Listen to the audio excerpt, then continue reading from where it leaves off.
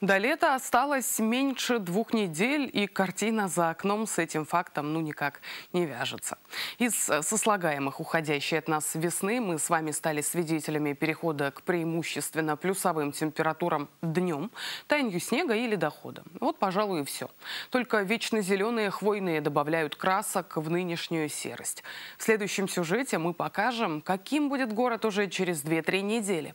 Ярким, пестрым, цветущим. Признаться, глядя на кадры прошлого июня не верится, что преображение будет таким кардинальным, но так происходит всегда. И всегда мы удивляемся. Такая она. Короткая северная весна перед чуть более длинным летом.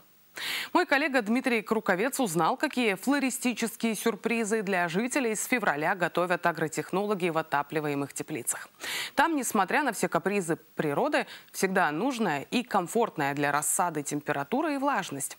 Насколько тяжелый это труд, сколько цветов украсят улицы Сургута уже через несколько недель, во сколько бюджету обойдется это визуальное удовольствие, как чувствуют себя тюльпаны на городских клумбах и что предложат посадить на своих приусадебных участках дачникам. Внимание на экран.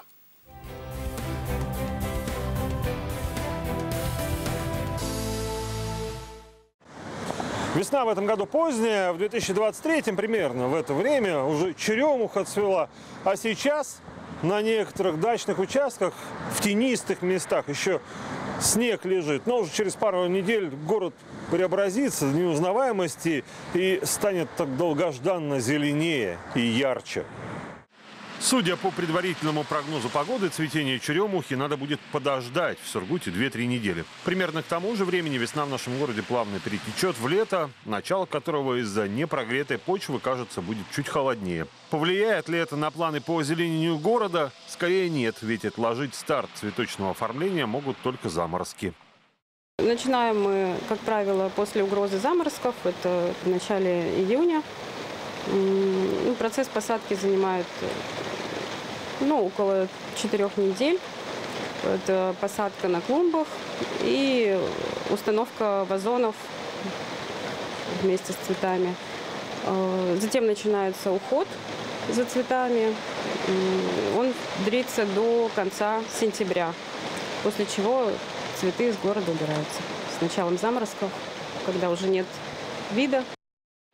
В этом году власти Сургута заказали у подрядчика 400 тысяч однолетних цветков. Это примерно на 5% больше, чем высадили прошлым летом. Посеяли их еще в феврале, и все эти месяцы пестовали, поливали, пикировали. Продолжают ухаживать за растениями и сейчас. Некоторым требуется прополка, чтобы сорняки не отнимали питательные вещества у цветов. Вся сложная работа от нуля и до того, чтобы вырастить.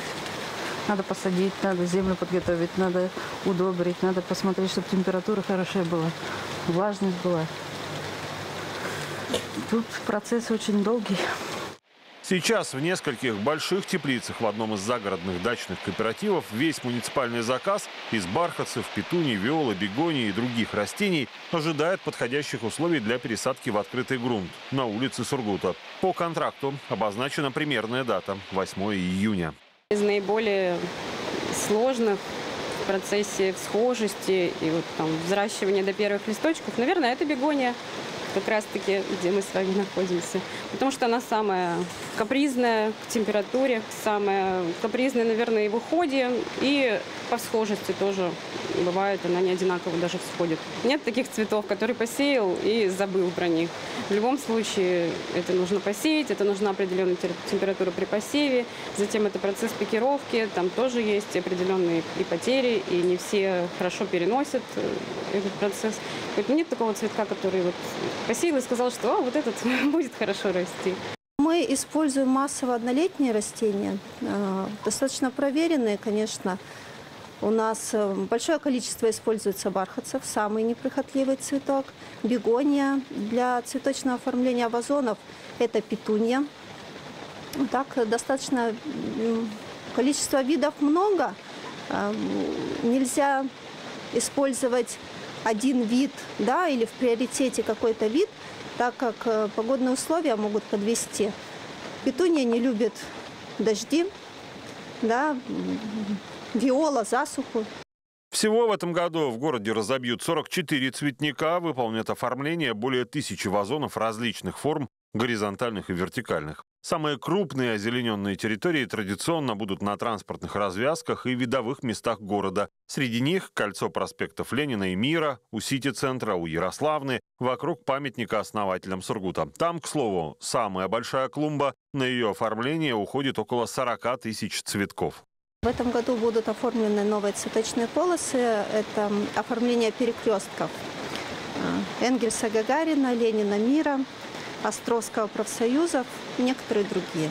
При оформлении новых цветников э, цветник был оформлен э, в прошлом году на Меликрама Щепеткина. Были высажены кустарники. В этом году многолетники к посадке не планируется. На кольце у памятника основателям Сургута пестрые узоры из однолетников появятся после того, как отцветут тюльпаны. Там они уже взошли, а подрядчики убрали зимний укрывной слой из еловых и сосновых веток. На основателей, как правило, традиционно она самая первая, там у нас проходит теплотрасса. И вот на основателей они уже взошли, ну и всходят в процессе. Клумбы на воинов-интернационалистов там пока еще не взошли, и они будут чуть позже. А так по схожести, да, все хорошо. Кстати, сургутяне считают одними из самых красивых оформленных мест в летней декоративной концепции города как раз памятник основателям Сургута и проспект Мира. Хотела бы видеть сирени, наверное, больше, шиповника.